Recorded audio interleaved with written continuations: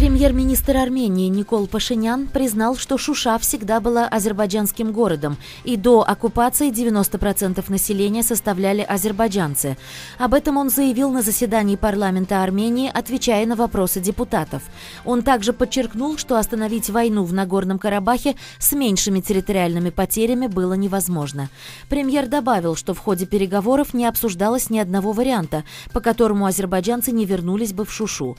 Мог бы город Шуша США быть армянским при условии, что более 90% его населения составляли бы азербайджанцы, задал депутатам вопрос Пашинян. Заявление Пашиняна относительно города Шуша стало ответом на абсурдное высказывание главы Министерства иностранных дел Армении Ары Айвазяна о том, что якобы Шуша является центром армянской культуры.